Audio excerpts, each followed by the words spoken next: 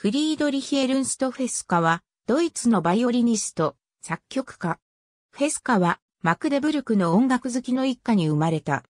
父は、マクデブルクの音楽愛好家のヨハン・ペーター・アングスト・フェスカであり、町の音楽活動に加わっていた。母は歌手のマリアンヌ・ポドレスカであり、彼女はヨハン・アダム・ヒラの教え子であった。フリードリヒはこの地で最初の音楽教育を受けた。その後、ライプツィヒにおいてトーマス・カントルのアウグスト・エベルハルト・ミューラーの指導のもと、教育課程を修了する。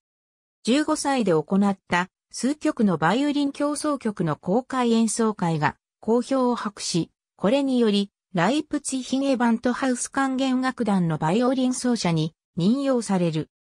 彼は1806年までこの職にとどまり、チェリストのフリードリヒ・ドッツァワーと共に当時は、まだ珍しかった弦楽師重奏による演奏会を開くなどした。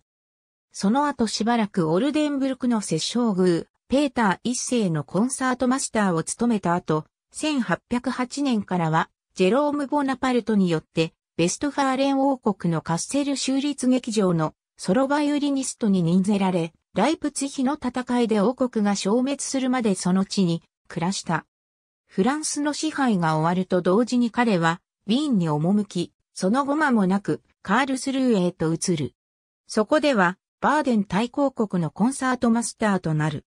彼は、音楽で非常に優れた、また価値ある成功を収めた者の次第に健康を害していき、1826年には、結核のため息を引き取った。37年の生涯だった。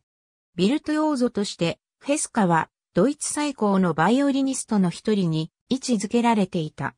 その後ドイツのバイオリン界に現れるのは、シュポーアとヨアヒムである。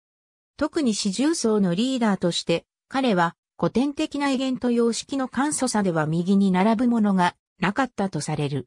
作曲家としては、弦楽四重奏曲や他の室内楽曲に最も優れた作品を残している。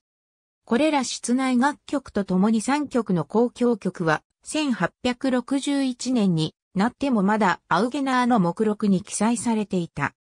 これらに比べると、二つのオペラ、キャンタマヤとオマール・アンドレーラはうまくいかなかった。また、彼はいくつかの宗教音楽や多数の歌曲、ヨエ、小曲も作曲している。